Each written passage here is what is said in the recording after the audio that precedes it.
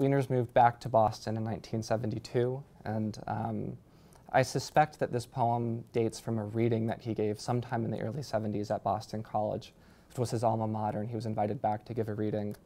Um, it's dedicated to Francis Sweeney, who was a faculty advisor, teacher of his there, and Francis Sweeney was the faculty advisor to the BC Literary Magazine which is um, where this one poem, Ode on a Common Fountain, was first published, that I believe Wieners reads in the outtakes. Um, so it was sort of amusing to me that he dedicated this poem in particular to that kind of a figure. Viva. Drag them out of their places, for they block the progress of our lives, our times. Drag them out of their graves, even if they were our parents, for they barricade the streets of our protest, our loves.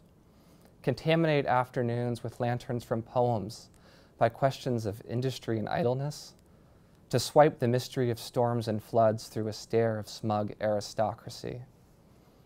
Even though revolutionary epics have survived, they remain at the bottom gates, holding posts to poison the flows of experiment.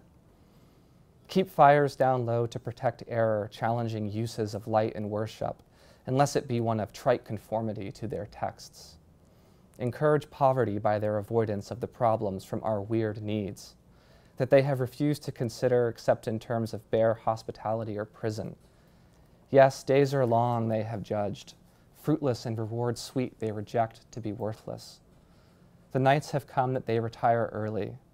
Yes, drag them out of their places, for they breed death and young graves, heartless despair, stealing beneath bosoms to fester automatically in leeches as enormous tumors out from the poverty of their lusts.